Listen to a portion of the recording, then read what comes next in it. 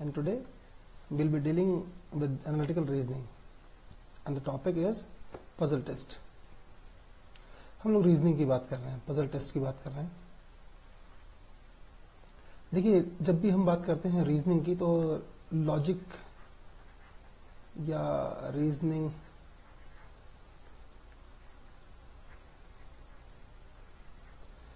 Logic या reasoning की बात कर रहे हैं एनालिसिस की बात कर रहे हैं। किसकी? ये सब लॉजिक हम यूज़ करेंगे रीजनिंग लगाएँगे, उसमें एनालिसिस करेंगे किस चीज़ का? फैक्ट्स का। जो फैक्ट्स हमारे पास गिवन है, हम उनका जब यूज़ करके एनालिसिस करते हैं लॉजिक उसमें यूज़ कर रहे हैं अपना, या रीजनिंग कर रहे हैं तो इसका इसका यूज़ हम करेंगे कहाँ पे? पजल टेस्ट में। पजल टेस्ट में जो फैक्ट्स गिवन है, जो आपके पास इंफॉर्मेशन है इस, इसी इंफॉर्मेशन का ही यूज़ करके जो गिवन इंफॉर्मेशन है, हम सिर्फ़ उसका यूज़ करके और क्वेश्चन को सॉल्व करेंगे। गिवन इंफॉर्मेशन का ही यूज़ करेंगे। देखिए इंफॉर्मेशन दो तरीके की मैं लेके चल रहा हूँ। The first one is previous information जो आपके पास पहले से है।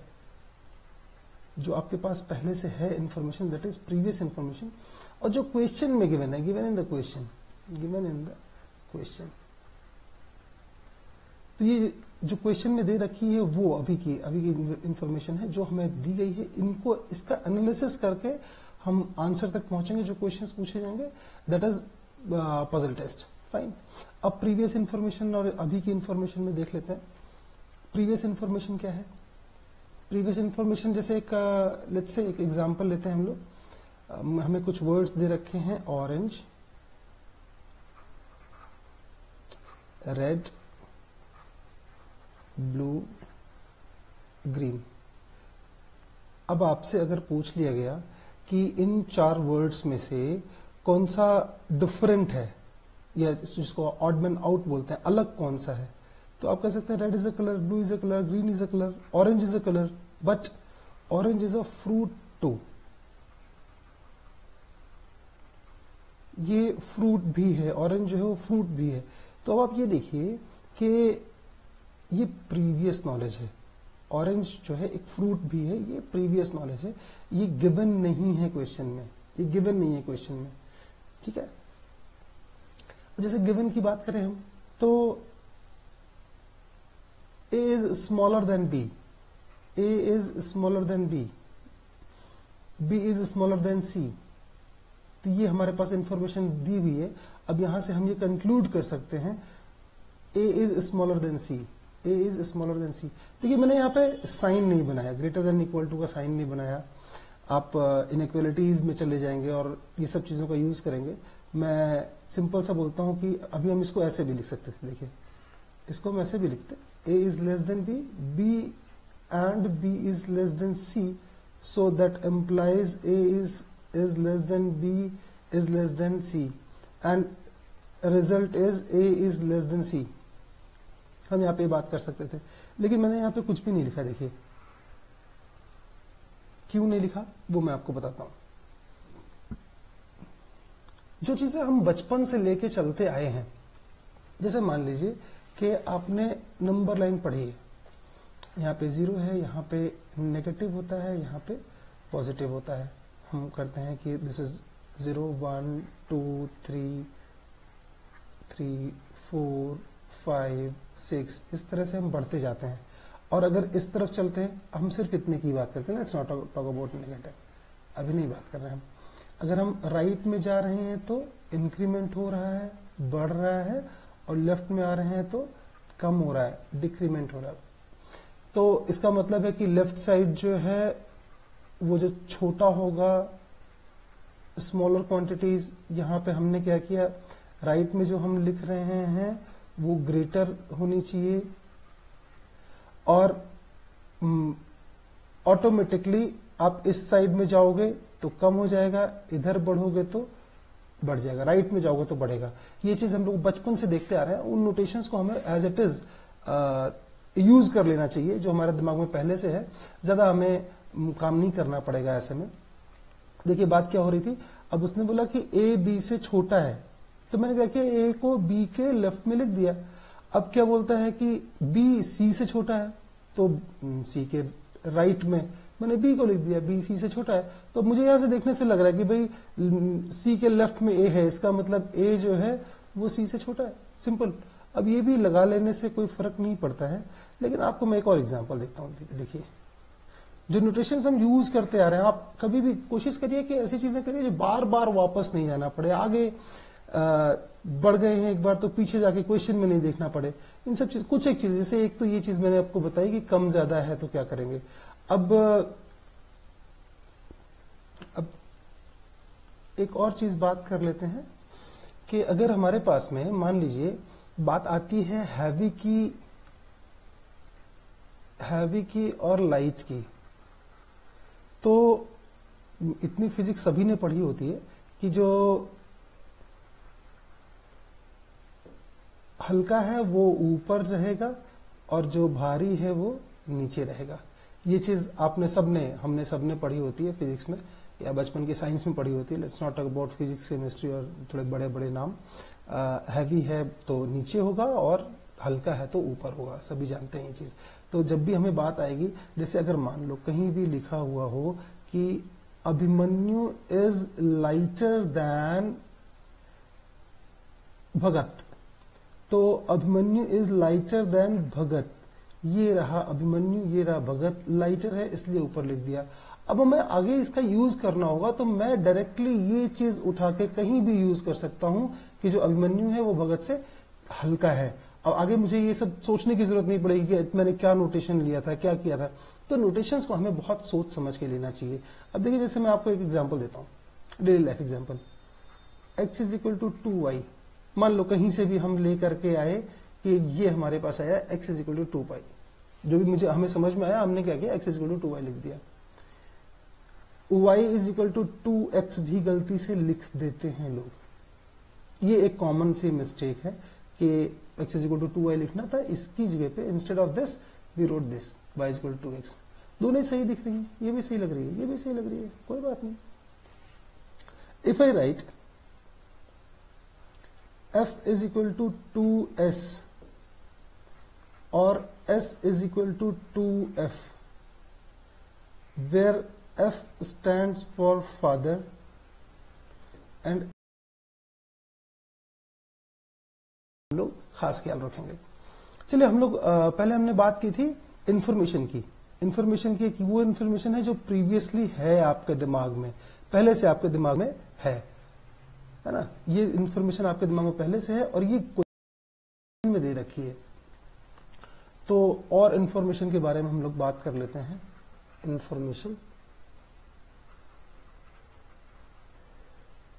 information can be of three three types in our case which we, what we'll take, add key, positive information, negative information, and redundancy. Data redundancy है data की ज़रूरत नहीं थी, वो बेवजह वहाँ पे दे रखा हुआ है। ठीक है? और इन्फॉर्मेशन किसमें हमने कैटेगराइज किया था? इन्फॉर्मेशन को कैटेगराइज किया था कि प्रीवियस हमारे दिमाग में पहले से इन्फॉर्मेशन है। हम हम ये जान चुके हैं पहले से हमारे पास पहले इन्फॉर्मेशन प्रीवियसली है या अभी करंट में जो क्वेश्चन है, उसमें दिया गया है।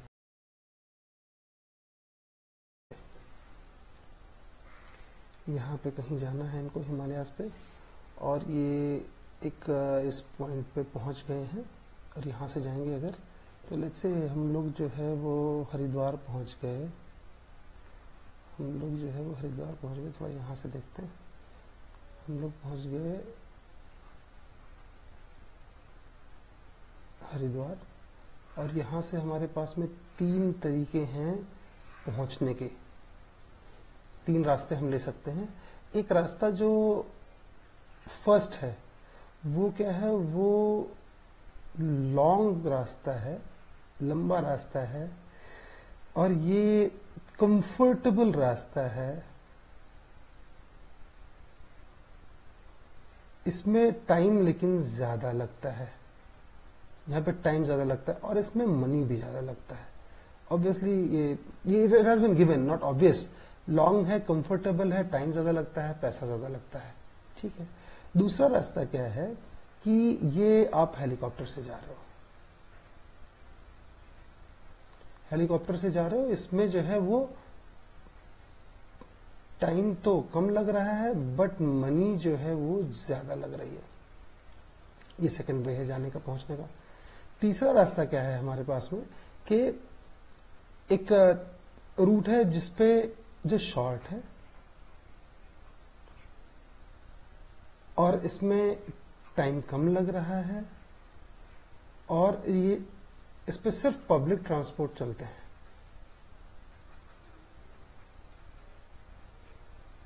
इस पर सिर्फ़ पब्लिक ट्रांसपोर्ट चलते हैं और इसमें जो प्राइस है, इसका जो मनी है, यहाँ पे जो हमारा पैसा लग रहा है, वो कम है। बट ओवरऑल जो ये कंफर्ट की बात हम कर रहे थे, वो कम है। कंफर्ट नहीं है। कंफर्ट नहीं है यहाँ पे। ठीक है। तो विवेक और राजेश्वर घूमने गए हुए हैं, ट्रैकिंग पे जाना है इनको। ये यहाँ पे कहीं बेस कैंप बेस कैंप है। This is base camp base camp पे उनको पहुँचना है। उसके बाद में फिर इस पे ये ट्रैकिंग स्टार्ट करेंगे। चलो। अब कंडीशंस क्या क्या दे रखी हैं? देखिए कंडीशंस ये दे रखी हैं कि they both are good in health. ठीक है, वो हेल्दी हैं, रोबोस्ट हैं, एनर्जेटिक हैं, जॉगिंग कर सकते हैं, क्लाइंबिंग कर सकते हैं, ट्रैकिंग कर सकते हैं fine they are both in good health second second बोलता है हमसे कि स्टेटमेंट सेकंड जो दे रखा है, वो ये दे रखा है कि they want to spend less or I must say, they want to save. They want to save money on the way. ये जब रास्ते में है तो पैसा बचाना चाहते हैं फाइन तीसरे की बात, तीसरा ऑप्शन क्या है इनके पास में कि दे हैव लिमिटेड टाइम कम टाइम है। कम टाइम है, ध्यान रखिए। पैसा भी कम खर्च करना चाहते हैं और टाइम भी कम खर्च करना चाहते हैं। Okay? They have limited time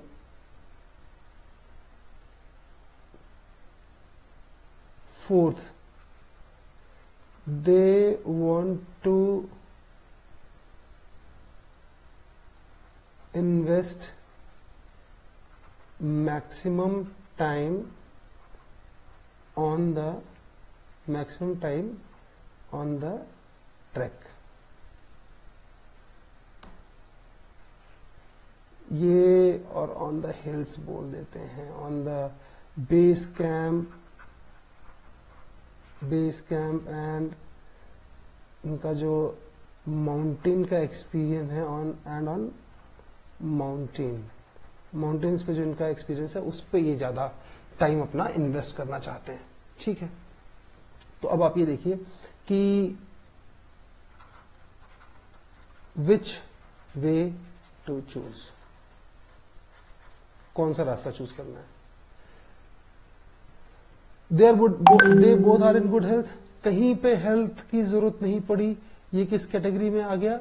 ये अगर हम बात करें कैटेगरी वन टू थ्री तो ये रिडेंडेंसी वाली कैटेगरी में आ गया है और ये थर्ड कैटेगरी है। They want to save money okay पैसा बचाना चाहते हैं। सब जगह पैसे की बात करी गई है। तो पैसा तो यहाँ पे तो ज़्यादा लग रहा है और यहाँ भी पैसा ज़्यादा लग रहा है। तो हमारे पास जो तीसरा ऑप्शन है, हम इस पे अभी रिलाई करेंगे। तीसरा इस सेकेंड वाले से जो ऑप्शन आ रहा है, वो आ रहा है हमारा थर्ड फ़िलहाल। They have limited time time भी कम है। अब देखिए यहाँ टाइम कम है। टाइम तो इसमें भी कम लग रहा है। मतलब हमें सेकंड को भी देखना पड़ेगा। हम ऑप्शंस जो देख रहे हैं, वो second option third option third option time भी कम ले रहा है और मनी भी कम ले रहा है। सेकंड ऑप्शन में क्या है टाइम तो कम ले रहा है बट मनी ज़्यादा ले रहा है। Okay they want to invest maximum time on the base camp on mountain अब यहाँ से हम ये डिड्यूस कर सकते हैं कि रास्ते में कम टाइम देना चाहते हैं, वो पहुँचने के बाद में ज़्यादा टाइम देना चाहते हैं। तो रास्ते में अगर कम टाइम देना चाहते हैं तो उनको कम टाइम वाला चाहिए। मतलब वन तो खत्म हो गया। इसको तो लेना ही नहीं है। अब क्या बोलता है कि they want to save money on the way रास्ते में वो पैसा बचाना चाहते हैं। हो सकता है वो वहाँ जाके ज़्यादा पैसा अच्छा टेंट या ज़्यादा अच्छा होटल वगैरह लेना चाहते हो। तो अब यहाँ पे क्या बात हो रही है कि they want to save money on the way रास्ते में पैसा बचाना चाहते हैं तो सेकंड ऑप्शन भी खत्म हो गया। So option three based on current information जो गिवन इंफॉर्मेशन है। जो गिवन इंफॉर्मेशन है, इस पे बेस्ड हम पजल टेस्ट को सॉल्व करेंगे। ध्यान रखिएगा, जो पजल टेस्ट के क्वेश्चंस हैं, उसको हम गिवन इंफॉर्मेशन पे सॉल्व करेंगे। उसमें प्रीवियस इंफॉर्मेशन लगाने की ज़रूरत नहीं है। ठीक है? ना अभी मैंने बात की थी आपसे इमेजिनेशन की। One of my friend Rupesh what he said he scientist वो बोलता है कि imagination leads to invention imagination leads to invention and logic needs to repetition. बड़ा अच्छा लगा मेरे को ये स्टेटमेंट अभी मेरी आज ही बात हो रही थी कि आ, क्या कर रहे हो? तो अभी थोड़ा लॉकडाउन हो रखा है तो यार मैं तो ऑनलाइन पढ़ा रहा हूँ क्या पढ़ा रहे हो? मैं लॉजिकल पढ़ा रहा हूँ। तो what do you feel like what the logic is so he told me that imagination means invention, logic means repetition. अब क्या है कि इमेजिनेशन इन्वेंशन लॉजिक रेपिटेशन ये अपने काम कहाँ आएगा वो देखते हैं।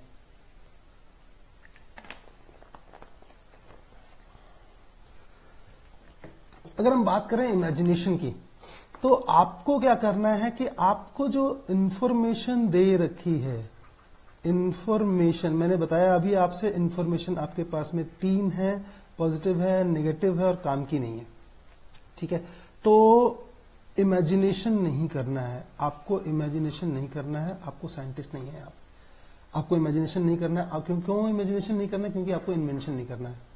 आपको ये नहीं सोचना है कि इस पिछले वाले क्वेश्चन में they they are robust they can walk तो पैदल भी जा सकते हैं। नहीं जितना कहा गया है सिर्फ़ उसी पे काम करेंगे। हम बात कर रहे हैं एनालिटिकल रीजनिंग की एनालिसिस करके डेटा को एनालिसिस करेंगे और उस पर आंसर करेंगे। ठीक है? लॉजिक कहाँ कहाँ ले जाता है हमें? रिपीटेशन लॉजिक रिपीटेशन पे ले जाता है। अब रिपीटेशन किस चीज़ करना है? रिपीटेशन का मतलब यहाँ पे बेसिकली रिज़ल्ट है। वो आपको एक रिज़ल्ट पे ले आएगा आप एनालिसिस करके एक रिज़ल्ट पे आ गए।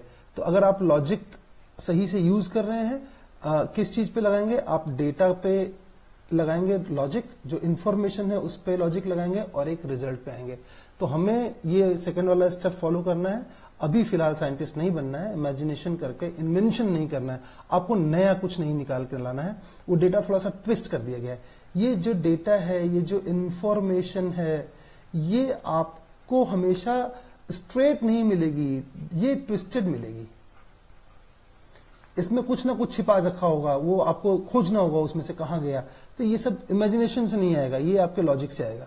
ठीक है? तो इमेजिनेशन करके हम नई चीज़ नहीं निकाल लेंगे लॉजिक से हम रिज़ल्ट uh, निकालेंगे अपना रिक्रिएट करेंगे repetition that's why it is repetition fine चलो आगे चलते हैं। Let's take some questions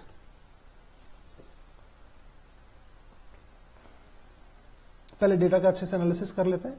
uh, ये शीट आपके पास पहले से जा चुकी है। और आपने क्वेश्चन ज़रूर पढ़ लिए होंगे एक बार, कि A B G and T are robots and P Q R S T and U are machines.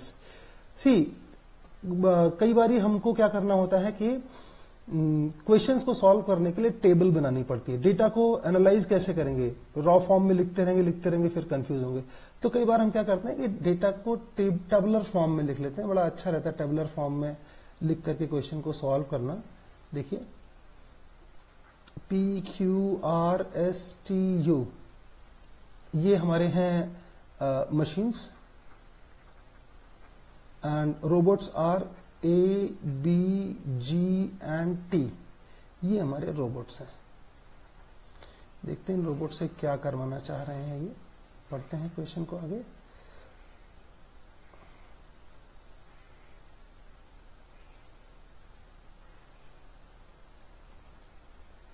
Question कह रहा है कि no robot can be assign to more than one machine at the same time data कुछ भी छोड़ना नहीं है, बहुत अच्छे से डेटा को हमें ध्यान से देखना है एनालाइज करना है। No robot can be assign to more than one machine at a time same time पे एक से ज़्यादा रोबोट एक रोबोट एक से ज़्यादा मशीन नहीं चला सकता है।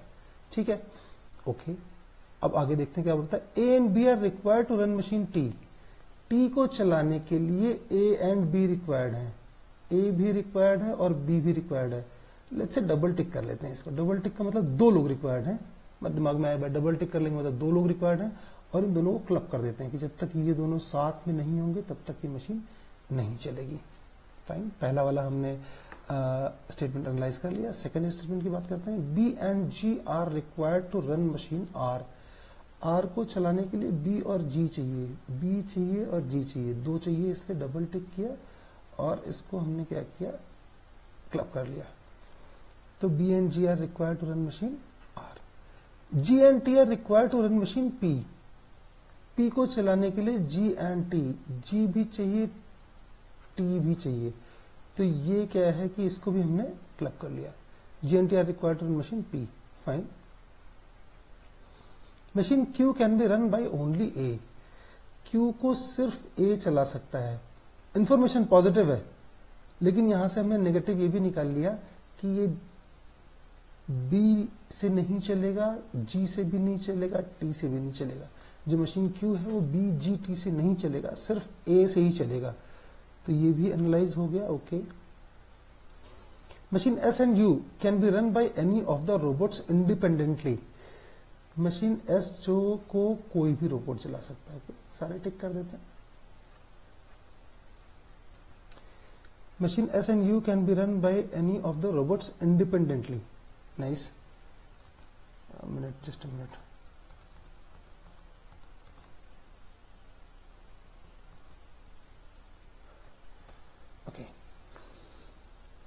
अब देखते हैं हम कि ये क्वेश्चंस क्या पूछना चाह रहा है हमसे। इस पे डेटा तो एनालाइज हो गया। और एक बार डेटा एनालाइज होने के बाद देखिए, आप लोग एक चीज़ का और ध्यान रखिएगा कि टेबल बनाने में बहुत टाइम नहीं लगता है। आप डेटा को फटाफट फटाफट टेबल में डालेंगे और उससे फिर आपके तीन, चार, पाँच क्वेश्चन तक सॉल्व हो जाते हैं। तो आपका टाइम सेव हो जाएगा। सपोज़ आपने टारगेट बना रखा कि फिफ्टी सेकेंड्स में एक क्वेश्चन करना है और आपको मिल गया टू फिफ्टी सेकेंड्स में। टू फिफ्टी सेकेंड्स में पूरा सेट सॉल्व करना है। तो आपने अगर डेढ़ मिनट मतलब नाइन्टी सेकेंड्स भी, नाइन्टी टू हंड्रेड सेकेंड भी आपने लगा दिए हैं इसको टेबल को बनाने में, और वन ट्वेंटी सेकेंड्स भी आपने लगा दिए हैं। तो भी इजीली बहुत बहुत आसानी से सॉल्व जाता है, कम टाइम लगता है। तो हम लोगों को क्या है कि ये देखना पड़ेगा कि टाइम सेव होता है इसमें। इसमें बहुत, आप ये मत सोचिएगा डेटा बनाने, ये टेबल बनाने में तो बहुत टाइम लगेगा।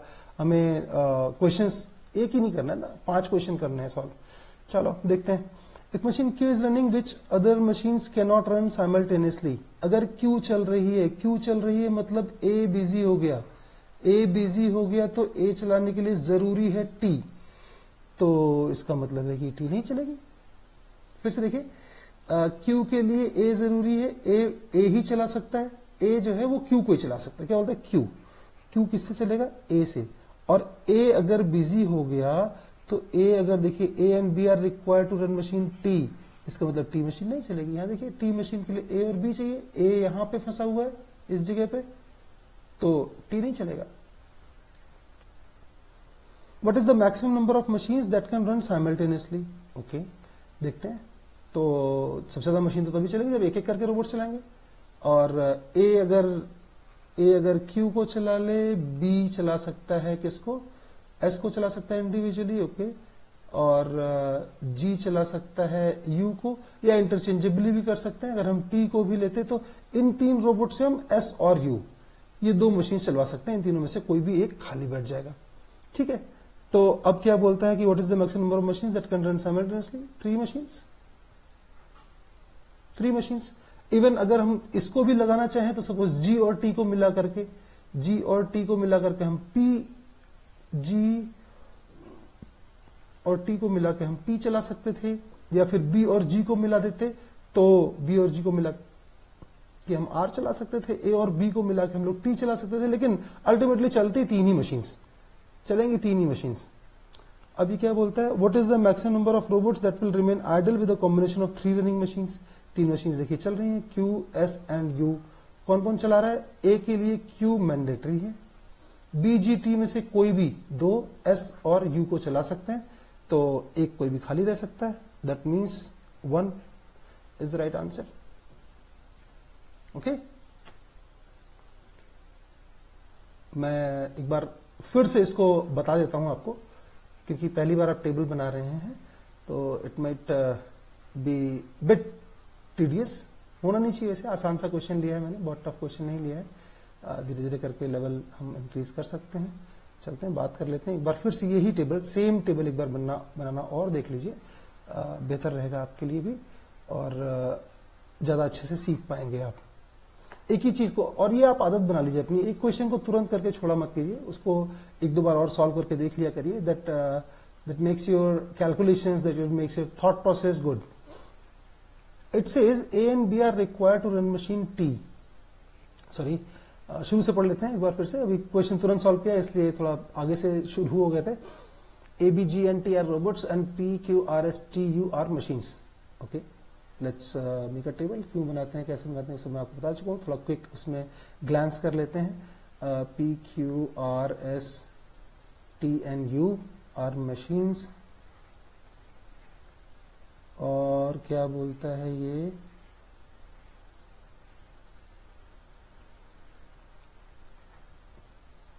A B G T are robots ये रोबोट्स हैं और sorry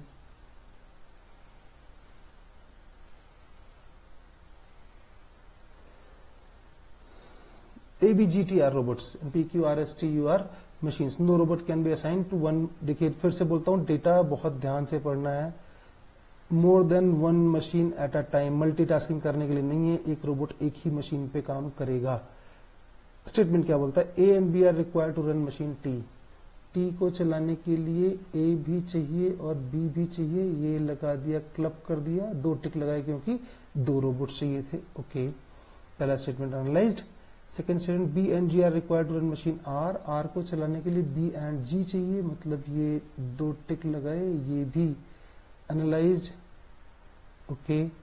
G and T are required to run machine P G और टी चाहिए किसके लिए? जी एंड टी चाहिए थे पी के लिए तो इनको भी दो लगा के क्लब कर दिया। ये स्टेटमेंट भी analyse machine Q can be run by only A machine Q को सिर्फ़ ए चला सकता है। वेरी नाइस गुड इसका मतलब है यहाँ से हमको एक स्टेटमेंट और मिल गया है क्या? नेगेटिव स्टेटमेंट मिल गया कि बाकी जो लोग हैं वो क्यू को नहीं चला सकते हैं। ओनली ये जो ओनली ए है इसका मतलब है कि बीजीटी नहीं चला सकते हैं। ये कुछ कुछ इंडिकेशंस मिलते हैं हमको। स्टेटमेंट पॉजिटिव है नेगेटिव है। इसको बहुत ध्यान से। इसीलिए क्वेश्चन को पढ़ते समय आपको बिल्कुल भी डिस्ट्रैक्ट नहीं होना है। आ, देखते रहना है। जहाँ भी मीनिंगफुल इंफॉर्मेशन मिले तुरंत उसको नोट डाउन कर लेना है। Machine S and U can be run by any of the robots independently. Okay. S, ये यू ये सब जो है इंडिपेंडेंटली रन कर रहे हैं। अब आप ये देखिए कि डेटा पूरा एनालाइज हो चुका है क्वेश्चन फिर से देख लेते हैं एक बार। If machine Q is running Q run कर रही है मतलब A is occupied which other machine can not run simultaneously A अगर फंस गया है तो कौन सी नहीं चलेगी? टी क्योंकि टी को चलाने के लिए ए ज़रूरी है। तो टी को टी के लिए क्यू के लिए क्यू चल रहा है? तो इसका मतलब ए रोबोट जो है वो ऑक्यूपाइड है और इससे क्या होगा? टी नहीं चलेगी। तो T is the T machine नहीं चलेगी, इसका मतलब है T is the right answer what is the maximum number of machine that can run simultaneously देखिए, सबसे बढ़िया एक रोबोट से एक को चलाया था, पिछली बार भी देखा हमने। तो ए तो ज़रूरी है क्यू के लिए, बाकी बी जी टी इन तीनों से हमें चलवानी है मशीन सिर्फ़ दो कौन कौन सी? एस एंड यू तीनों में से कोई भी दो एस और यू को चला सकते हैं। तो टोटल नंबर ऑफ़ मशीन कितनी चल सकती है मैक्सिमम तीन। What is the maximum number of robots that will remain idle with combination of three running machine तीन रनिंग मशीन है तो यही सेम क्वेश्चन में आगे पूछा गया। तीन रनिंग मशीन में सपोज़ यही तीनों हम ले लेते हैं। ये कर रहे हैं टी खाली बैठा हुआ है रोबोट तो सिर्फ़ एक ही मैक्सिमम आइडियल पोजीशन में बैठ सकता है। थोड़ा सा जल्दी इसको मैंने किया है क्योंकि एक बार पहले आप इसको देख चुके हैं सॉल्व कर चुके हैं। चलिए नेक्स्ट क्वेश्चन पे चलते हैं। P Q R S T and U play basketball cricket football hockey wrestling and tennis तो P Q R S T U play basketball cricket football hockey wrestling tennis ठीक है। लोग कितने हैं? एक, दो, तीन, चार, पाँच छ और गेम है एक, दो, तीन, चार से लिख लेते हैं। एक, दो, तीन, चार, पाँच छ ठीक है? छह लोग हैं, छह गेम खेलते हैं। Fine U who is heavier ये हैवियर आ गया देखिए। हैवी वाला कहाँ जाएगा? नीचे लाइट वाला ऊपर। पोजीशन जो लाइट वाले की होगी वो ऊपर होगी हैवी वाले की नीचे होगी। U who is heavier okay U heavier है।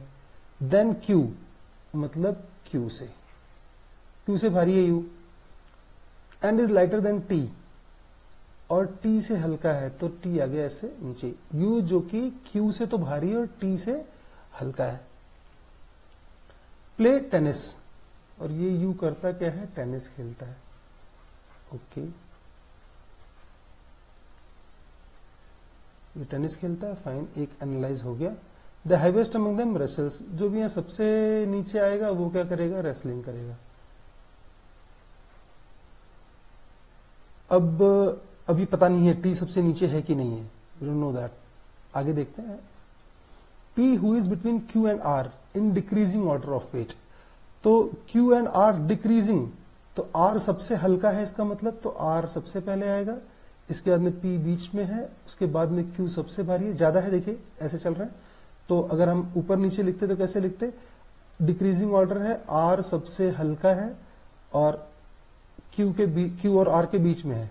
ठीक है? आर डिक्रीजिंग ऑर्डर में ही देखिए आर इन डिक्रीजिंग ऑर्डर सबसे लास्ट में आर है तो हल्का है सबसे सबसे कम है ये आर सबसे ऊपर आ गया हल्का है और सबसे नीचे कौन आएगा? आ, सबसे नीचे कौन आएगा? क्यू और आर के बीच में ये पी है तो क्यू यहाँ पे आ गया बीच में पी आ गया तो अब देखिए क्यू के ऊपर कौन आया? पी पी के ऊपर आया आर ये स्टेटमेंट काम का था हमारे काफ़ी सारी इंफॉर्मेशन दे गया बना गया।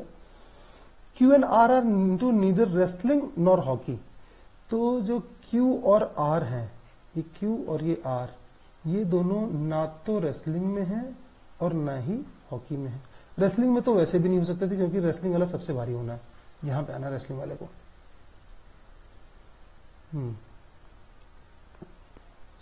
The lightest among them plays hockey और ये बोलता है R does not play hockey R does not play hockey और सबसे हल्का है तो वो हॉकी इसका मतलब यहाँ सबसे हल्के की जगह पे कोई होना चाहिए जो कि हॉकी खेलेगा। ठीक है? तो अब हमारे पास में क्या आ गया कि एक यहाँ पे इंफॉर्मेशन में छोड़ दी P who is between Q and R in decreasing order of weight plays cricket तो ये जो पी है वो क्रिकेट खेलता है। ये भी दे रखा है। ये देखिए, दे रखा है। क्रिकेट खेलता है ये। कौन? पी ठीक है? तो अब हमारे पास में लास्ट एक और बच गया। The lightest among them plays hockey कौन कौन बच गया यार? कौन रह गया? पी क्यू आर एस बच गया। तो एस क्या करेगा? हॉकी खेलेगा। पूरा चार्ट हमारा कंप्लीट हो गया। सारे एनालिसिस हो गए, लेकिन हम क्या नहीं कर पाए? हम ये नहीं कर पाए। देखिए टी क्या है? सबसे भारी निकला तो इसका मतलब है टी रेसलिंग करेगा। ओके आर और क्यू खेलते क्या है? ये नहीं पता कर पाए हम। गिवन इंफॉर्मेशन से हम ये नहीं पता कर पाए। और देखिए, ये अक्सर होगा आपके पास। ये सिचुएशन भी आपको लेके चलनी है कि कुछ चीज़ों के आंसर मिलेंगे ही नहीं। और आप क्या है, उसको खोजने में टाइम वेस्ट कर दोगे। पता चला क्वेश्चन में वो चीज़ दे ही नहीं रखी, पूछा ही नहीं गया आपसे। जो कोई भाई, जो आपके पास इंफॉर्मेशन दी रखी है, उसी में से क्वेश्चन पूछा जाएगा। बाहर से नहीं क्वेश्चन पूछा जाएगा। तो क्या कहता है who among the following is heaviest okay देख लेते हैं। टी सबसे नीचे कौन आया? T which sport does U play U कौन ये तो डायरेक्ट दे रखा था टेनिस आसान है। Who among the following plays hockey hockey कौन खेल रहा है? एस हमने कंक्लूड कर लिया है। Which sport does Q play Q क्या खेलता है? पता नहीं। अब पता चला क्वेश्चन आपने सिर्फ़ पढ़ लिया और वापस जाके पूरा पढ़ के फिर से यही आपने चार्ट बनाया, फिर से यही आपने डायग्राम बनाया और फिर वापस आए। फिर देखा, यार, हो ही नहीं सकता। तो अब यहाँ पे देखिए क्या बोलता है ये, कि फुटबॉल नहीं कह सकते बास्केटबॉल नहीं कह सकते, दो ही बचे हुए देखिए बास्केटबॉल और फुटबॉल यही दोनों बचे हुए तो इसके अलावा बाकी सब हो गए क्रिकेट हॉकी रेसलिंग टेनिस तो एक सी ऑप्शन भी है ना और वो सी ऑप्शन क्या बोल रहा है? आइदर फुटबॉल और और बास्केटबॉल तो ये जो आइदर वाला पार्ट है, इसको बड़ा आप पकड़ के रखिएगा। E I T H E R ये बहुत काम की चीज़ है, या परेशान करने वाली चीज़ है। बहुत सारे क्वेश्चंस में आपका ऑप्शन की बात नहीं कर रहा हूँ। लॉजिकल रीजनिंग में एनालिटिकल रीजनिंग में आपको बहुत बार ये दिमाग में रहेगा either this or that either this or that whether you are solving critical reasoning or logical reasoning or anything, ये आइदर बहुत परेशान करने वाला है, इस आइदर से आपको बहुत अच्छे से डील करना पड़ेगा, इससे जो है दोस्ती कर लो तो ज़्यादा बेहतर है। चलो तो shall I solve this again एक बार फिर से करके दिखाऊँ? दोबारा से सारा डेटा एनालाइज कर दू? कर लेते हैं, देखते हैं। देखिए मैं आपकी पहली बार ये क्लास हो रही है इसलिए इसको दोबारा से करके बता रहा हूँ। सिर्फ़ मैं आपको डेटा बता दूँगा उधर बहुत ज़्यादा एनालिसिस क्वेश्चंस पे आ, नहीं जाऊँगा। देख लेते हैं। या मैं बता ही देता हूँ अच्छे से बताता हूँ पूरा। दोबारा बता देता हूँ जिससे आपको थोड़ा सा रिविजन हो जाए। अभी लाइव आप देख रहे हो इसको और पॉज करके रिकॉर्डिंग में फ़िलहाल तो नहीं जा सकते। तो एक सेटिस्फेक्शन कम रहता है अगर आपको अच्छे से समझ में नहीं आया हो। मैं दोबारा से बता देता हूँ। देखो। P Q R S T U play basketball cricket football hockey wrestling and tennis U who is heavier than Q यहाँ पे वही हैवियर वाली बात आई है हैवियर हमने देखा था नीचे आएगा और जो आ, हल्का है वो ऊपर जाएगा लाइटर है ऊपर जाएगा। U who is heavier than Q U जो है वो क्यू से भारी है क्यू नीचे आएगा। यू क्यू से भारी है fine and is lighter than T T से हल्का है तो टी उसके भी नीचे चला गया। टी से हल्का है, ऊपर चला गया। Play tennis U play tennis the heaviest among them wrestlers जो भी लास्ट में आएगा, वो क्या करेगा? रेसलिंग करेगा। तो ये दो स्टैंडर्डाइज हो गए। P who is between Q and R in decreasing order तो डिक्रीजिंग का मतलब है कि आर जो है वो लाइटेस्ट है। और क्यू और आर के बीच में पी है। तो जो सबसे यहाँ पे लाइटेस्ट की बात की जा रही है आर जो है वो लाइटेस्ट है।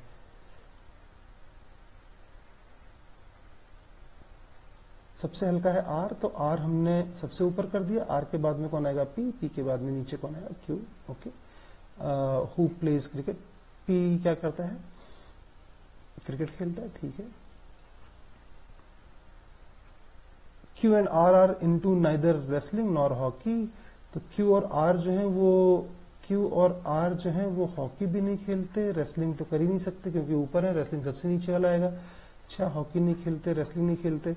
ये रिडेंडेंस है अपने पास में। रेसलिंग नाइदर नाइदर रेसलिंग वाला जो पार्ट है, ये रिडेंडेंस है, काम का नहीं बेकार है। नॉर हॉकी जो है, यही काम करेगा हॉकी नहीं खेलते। लेकिन रेसलिंग तो नीचे आना चाहिए, ऊपर आ ही नहीं सकता। ये हो गया आपका the lightest among them plays hockey, जो सबसे हल्का है। अच्छा ये तो हॉकी खेलता ही नहीं है, इसके ऊपर जो आएगा वही हॉकी खेलेगा। तो ऊपर देख लेते हैं कौन मिसिंग है P Q R S S is missing S plays hockey. That is खत्म। क्यू और टी को हम नहीं पता कर पाए हैं, और ऐसे में क्या करते हैं देख लेंगे अभी। Who among the following is heaviest heaviest कौन बचा? ऑब्वियसली टी और क्या करता है? रेसलिंग करता है। Which sport does U play U क्या कर, खेलता है? टेनिस ये तो डायरेक्ट दे रखा था। Who among the following plays hockey hockey कौन खेल रहा है? एस खेल रहा है। We know it which sport does Q play Q क्या खेलता है? आइदर फुटबॉल और बास्केटबॉल या तो फुटबॉल खेलेगा या बास्केटबॉल दे रखा। कंक्लूड नहीं कर सकते क्योंकि यहाँ पे हम डेटा से उस तरह से एनालाइज नहीं कर पाए। कंक्लूजन पे नहीं पहुँच पाए। चलिए आगे चलते हैं। क्या बोल रहा है? Salman Khan has not question क्या बोलता है कि Salman Khan has not decided on which of the four novels to buy okay he is considering a thriller यहाँ से आ गया हमारे पास data thriller mystery romance and fiction ये जॉनर बता दिए. तो ये एक टाइप का डेटा हो गया. Type one the books are written by R G B U and H O तो जो R G B U H O चार. चार ये हमारे पास जॉनर है. इसके चार राइटर्स आ गए. ठीक है. एंड पब्लिश बाय एचआरपी देखिए, जिस तरह से मैं, आप ये बहुत ध्यान रखिएगा कि सॉल्व वाइल रीडिंग इस कॉन्सेप्ट को ज़रूर ध्यान रखिएगा। जिस समय आप सॉल्व कर रहे हैं, उसी समय मतलब जिस समय आप रीड कर रहे हैं क्वेश्चन को जब रीड कर रहे हैं तो आप सॉल्व लिखिएगा। अच्छा आपने ये गौर किया, मैं हर जगह कैपिटल एस हो और स्मॉल एस हो, दोनों को मैं सिर्फ़ स्मॉल एस ही लिख रहा हूँ, क्यों? अभी किसी का नाम भी था तो भी मैंने क्या किया एस को ऐसे कट कर दिया था, छोटा कर दिया था। देखिए, ये सब नोटेशंस हैं जो मैंने over the period of time बनाई हैं। मैं क्या करता था, पहले आपको भी देखना चाहिए। एग्ज़ाम्पल देखिए रियल एग्ज़ाम्पल दे रहा हूँ। फाइव लिखा मैंने मैथ्स के क्वेश्चन में करते समय अगर सपोज़ मैंने कहीं पे लिखा फाइव ऐसे लिखते हैं कोई इतना सुंदर सा फाइव मैथ्स की कैलकुलेशन करते समय तो नहीं लिखता है है ना? ऐसे आप लिखते हैं और एस भी ऐसे लिखते हैं। तो थोड़ी देर में फाइव कब एस हो जाएगा एस कब फाइव हो जाएगा, पता ही नहीं चलेगा। तो मैंने इसको सेग्रीगेट कर दिया हमेशा के लिए कि भाई कहीं भी एस लिखना है स्मॉल लिखना है। अब अगर ये दोनों चीज़ें साथ में लिखी हुई फाइव और एस तो ये हमेशा फाइव है, ये हमेशा एस है। तो इस तरह की चीज़ों से लॉजिकल रीजनिंग में बहुत दिक्कत करते हैं। मैथ्स में भी मतलब ये तो लॉजिक की बात कर रहा हूँ मैं सिर्फ़ इस समय। तो लॉजिकली दिस इज़ गुड चलो। तो सॉल्व वाइल रीडिंग जब आप पढ़ रहे हैं, तब आप उसे सॉल्व करिए। और सॉल्व करते समय एग्ज़ाम देने की बात मैं कर रहा हूँ। एग्ज़ाम में भी और वैसे भी, आदत डालेंगे तब भी एग्ज़ाम में कर पाएँगे अदरवाइज़ नहीं कर पाएँगे। अब आपने किया क्या कि आपने सॉल्व वाइल रीडिंग शुरू किया? और इसमें क्या होगा कि आपके पास में सॉल्व वाइल रीडिंग के टाइम पे क्या होगा कि आपके पास में टाइम लिमिट या तो देखिए क्वेश्चन को सॉल्व करने का फ्लो चार्ट जो है, वो बन जाएगा या फ्लो चार्ट नहीं बनेगा? सॉल्व करने का। फ्लो चार्ट बन जाएगा या नहीं बनेगा? नहीं बनेगा तो हमें डिस्कार्ड करना ही कि हमें क्वेश्चन आता ही नहीं है। और अगर फ्लो चार्ट बन गया तो भी दो चीज़ें हैं किस चीज़ की? टाइम लिमिट की। टाइम लिमिट में within time limit solve होगा या विद इन टाइम लिमिट नहीं हो पाएगा? तो यहाँ पे हम डिस्कार्ड कर देंगे एग्ज़ाम में। तो आप ये जब आदत डालेंगे और जब टाइम भाई, सबसे पहले क्या किया आपने? सॉल्व वाइल रीडिंग किया। फ्लो चार्ट है। फ्लो चार्ट आपका बन गया सॉल्व करने का कि क्वेश्चन ऐसे सॉल्व होगा। आपने पूरा देख लिया कि किस तरह से सॉल्व करेंगे। उसके बाद में विद इन टाइम लिमिट हो पाएगा कि नहीं हो पाएगा, ये भी आपको ही डिसाइड करना पड़ेगा। तो जब ये डिसाइड कर लिया आपने तो फिर उसको सॉल्व किया और अगर टाइम ज़्यादा लग रहा है तो छोड़ दिया। तो ये काम आपको करना पड़ेगा। और इसकी आदत अभी से डालनी पड़ेगी आदत क्या डालनी पड़ेगी? पूरा क्वेश्चन पढ़ने की बजाय आपने जब क्वेश्चन पढ़ा, बहुत कम टाइम ऐसा होगा, बहुत कम बार ऐसा होगा कि आपने पढ़ा और डेटा एनालाइज किया और अरे, कुछ नहीं हुआ। तो कोई बात नहीं, दस में से एक बार हो भी गया तो भी आपका नुकसान नहीं होगा। पूरा क्वेश्चन पढ़ करके और फिर आप आएँगे क्वेश्चन को सॉल्व करने के लिए, थोड़ा सा मुश्किल हो जाएगा टाइम ज़्यादा लगेगा। तो थोड़ा थोड़ा डेटा एनालाइज करते रहता है। Salman Khan has not decided on which of the four novels to buy कौन सा नॉवल खरीदना ये नहीं डिसाइड कर पाया he is considering a thriller एक थ्रिलर उसने क्या जॉनर वो सिलेक्ट कर रहा है। Thriller mystery romance and fiction novel ये सिलेक्ट करना है। The books are written by R G B U and H O ये चार जो है ऑथर्स दे दिए गए हैं और पब्लिशर इसके दे दिए गए हैं H R P B L and S H R P B L और एस ये चार जो है वो आपके पब्लिशर दे दिए गए हैं। तो अब आप ये देखिए कि यहाँ पे तीन तरीके के डेटा है। एक, दो और तीन। तो ये जो टू डायमेंशनल टू डायमेंशन मतलब इसमें ऊपर और लेफ़्ट में हम अगर डेटा डाल रहे हैं तो दो ही डाल सकते हैं ऑब्वियसली चलिए दो डाल लेते हैं। R G B U H O ये हैं हमारे राइटर और H R P B L और एस ये हैं हमारे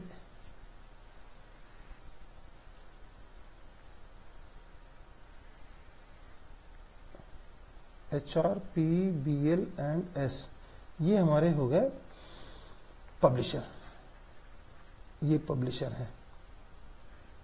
ये जो ये जो पार्ट है हमारे पास में, ये सब पब्लिशर है।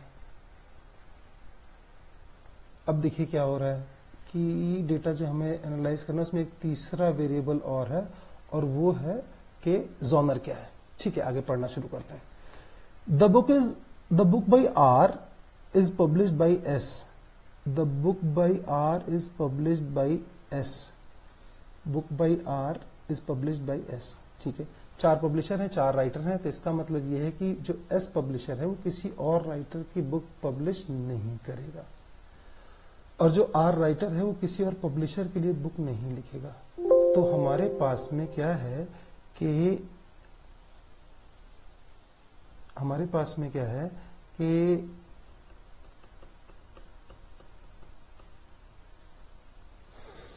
ये जो आर है वो किसी एस की पब्लिश कर दी है इसने तो किसी और की पब, किसी सॉरी आर जो राइटर है वो उसने एस पब्लिशर की बुक लिखी है तो किसी और के लिए नहीं लिखेगा। H R P B L publisher के लिए नहीं लिखेगा। और जो राइटर है इसका तो देख लिया हमने पब्लिशर में भी देख लीजिए एस अगर जो पब्लिशर है, वो किसी और की राइटर की भी बुक नहीं लिखेगा। ठीक है?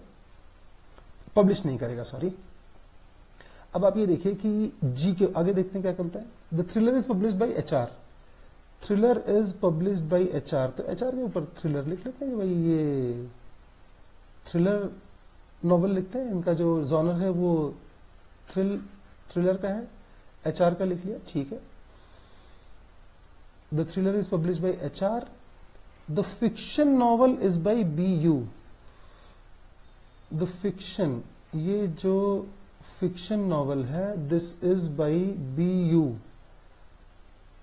H R P B L ये लिख दिया हमने फिक्शन का बी यू है।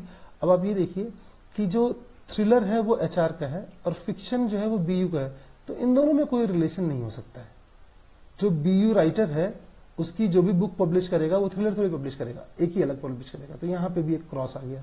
ये काम का चीज़ है एक। ये थोड़ा सा डेटा को डीपली एनालाइज करना पड़ेगा। The thriller is published by HR, the fiction is by BU and is not published by BL. And this fiction is not published by BL. अरे वाह तीन जगह आपके पास क्रॉस आ गए। एक ही जगह बचा है क्या होगा? टिक तो जो राइटर है बी यू इसको पब्लिशर कौन है? पी अब पी किसी और को पब्लिश नहीं करेगा। Now the romance is by H O ये कौन कर रहा है? ये एच ओ जो है, वो रोमांस पब्लिश कर रहा है। The romance is publish by H O sorry return by H O तो एच ओ का रोमांस है तो ये देखिए thrill H R by the same logic जैसे यहाँ क्रॉस किया था, यहाँ भी क्रॉस हो गया। अब ये टिक हो गया। इसमें तीन देखिए क्रॉस हो गए, ये टिक हो गया। क्वेश्चन सॉल्व हो गया। हमारा जो सेट था पूरा, वो सॉल्व हो गया है। देखिए रोमांस का यहाँ पे क्या है? बीएल का है रोमांस ये मैं हटा देता हूँ। ये रोमांस है। क्योंकि ये देखिए, ये रोमांस है। एचओ का बीएल का रोमांस है। अब क्या है कि इसके बाद में यहाँ पे थ्रिलर किसके पास में गया? जी के पास में। जी का थ्रिलर हो गया। कौन बच गया? R R is published by S and R ने लिखा क्या है? थ्रिलर हो गया रोमांस हो गया फिक्शन हो गया, बच गया कौन? मिस्ट्री तो आर का जो है वो मिस्ट्री आ गया एस का क्या आ गया?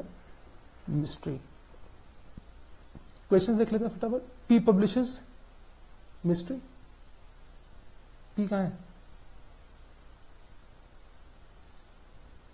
P is fiction by B U okay fiction by B U fine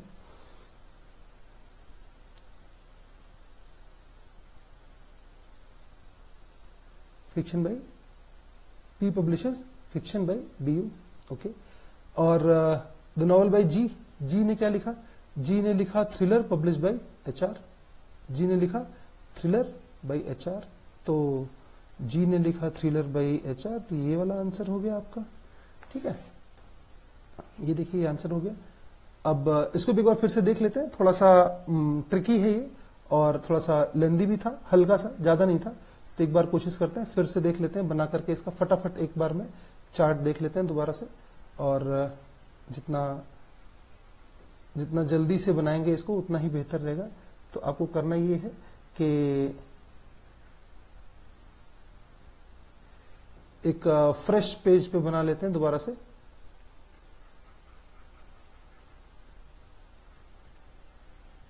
ये अगर हमारे पास ये थोड़ा सा मिट जाता है तो ज़्यादा बेहतर रहेगा।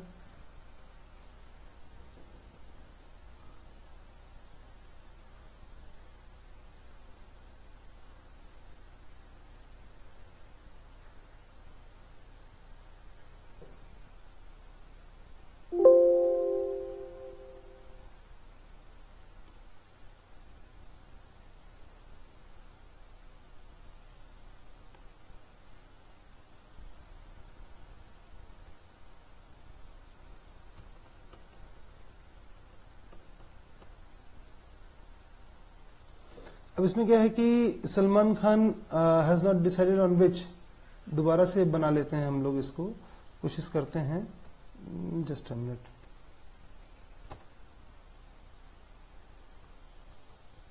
हाँ।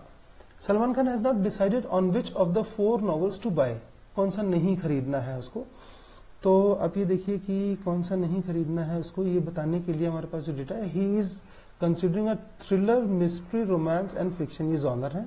The books are written by R G B U H O ये इसके राइटर्स हैं और published by H R P B L and S H R P B L and S ये इसके आपके पब्लिशर्स हैं and not necessary in that order the book is by R is published by अच्छा यहाँ से हम देख लेते हैं डेटा बना लेते हैं अपना और एक चार्ट बना लेते हैं इसका भी। ये बोलता है कि R, G, B, U and H, O. ये जो इसके राइटर्स हैं, इधर हमने राइटर्स लिए हैं। और फिर जो है वो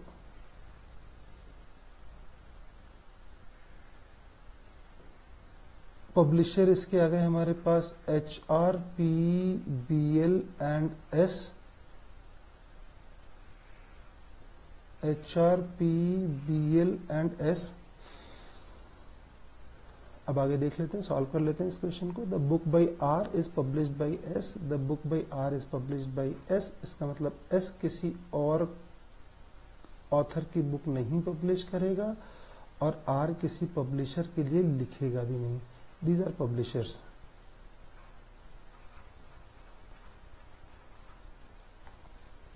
अब क्या हुआ देखिए? Necessary that in R is published by S okay the thriller is publish by H R the thriller is publish by H R तो यहाँ थ्रिलर इसके थ्रिलर एच आर सेम रहेगा। The fiction novel is by B U ये ये हो गया analyse कर लिया ना the thriller is publish by H R the fiction novel is by B U तो ये जो बी यू फिक्शन है, वो किसके साथ में जा रहा है? बी यू के साथ जा रहा है ओके okay. तो इसका मतलब है कि फिक्शन और थ्रिलर में कोई रिलेशन नहीं होगा। यहाँ पे क्रॉस आ गया। आगे क्या बोलता है ये? कि novel is by B U and is not publish by B L B L ने पब्लिश नहीं किया इसका मतलब। यहाँ भी क्रॉस आ गया। तो ये तीन क्रॉस हो गए तो टिक हो गया। इधर भी क्रॉस इधर भी cross next line next data ये बोलता है कि the romance is by H O H O का जो है ये रोमांस जॉनर है। तो थ्रिलर नहीं हो सकता। थ्रिलर रोमांस एक ही नहीं चार चार चार अलग अलग अलग हैं। तो यहाँ पे जो है ये आ गया आपका क्रॉस और यहाँ पे अगर क्रॉस आ गया तो इसका मतलब एक ही बचा, ये टिक हो गया, ये क्रॉस हो गया, ये टिक हो गया।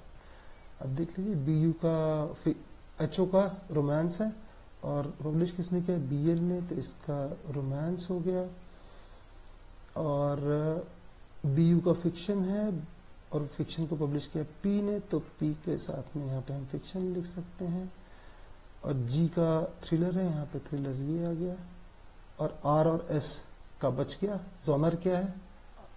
एस पब्लिशर है आर के लिए। और जोनर क्या बच गया? देखिए थ्रिलर हो गया रोमांस हो गया फिक्शन हो गया मिस्ट्री बच गया। तो इसका ये मिस्ट्री हो गया, इसका ये मिस्ट्री हो गया। ठीक है। क्वेश्चन सॉल्व कर लेते हैं। दोबारा से किया थोड़ा सा जल्दी किया, जिससे एक क्विक और आप बना लो। पी पब्लिशेज पी किसको पब्लिश कर रहा है? कहाँ है पी ये रहा पी किसको पब्लिश कर रहा है? फिक्शन पब्लिश कर रहा है। नाइस हो गया काम खत्म। He publishes fiction written by BU. Uh, the novel by G is G क्या कर रहा है? G G कर रहा है thriller. And thriller by what? HR thriller published by thriller published by HR ये इसको publish कर रहा है। तो आप लोगों ने कुछ क्वेश्चंस भी किए? अभी शीट में एक आध क्वेश्चन और भी हैं वो भी आप सॉल्व कर लीजिएगा। और यहाँ पे कोई जो क्वेश्चंस हैं उनको करके दिखा दिया है मैंने। शीट के क्वेश्चंस आपने कुछ कर लिए कुछ अभी कर लीजिएगा। ये टॉपिक ऐसा है, जितनी ज़्यादा आप प्रैक्टिस करेंगे, उतना ही बेहतर आप इसमें परफॉर्म कर पाएँगे। तो आपको क्या है, ज़्यादा से ज़्यादा क्वेश्चंस प्रैक्टिस करने हैं।